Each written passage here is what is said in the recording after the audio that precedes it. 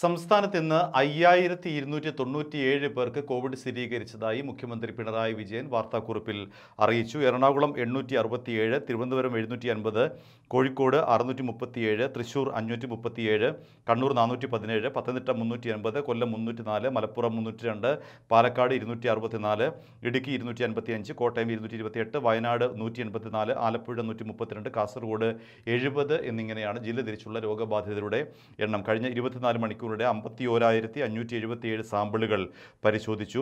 സംസ്ഥാനത്തെ വിവിധ ജില്ലകളിലായി രണ്ട് ലക്ഷത്തി അറുപത്തി ഏഴായിരത്തി എണ്ണൂറ്റി രണ്ട് പേരാണ് ഇപ്പോൾ നിലവിൽ നിരീക്ഷണത്തിലുള്ളത്.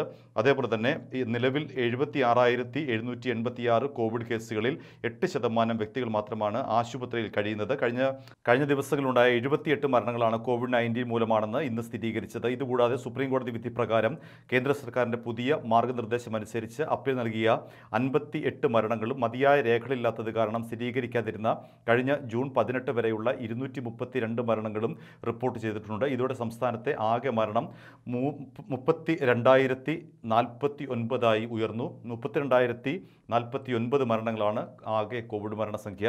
ഇന്ന് രോഗം സ്ഥിരീകരിച്ചവരിൽ പതിനാറ് പേർ സംസ്ഥാനത്തിന് പുറത്തുനിന്ന് വന്നവരാണ്. നാലായിരത്തി തൊള്ളായിരത്തി അറുപത്തി ഏഴ് പേർക്ക് സമ്പർക്കത്തിലൂടെ രോഗം ബാധിച്ചു.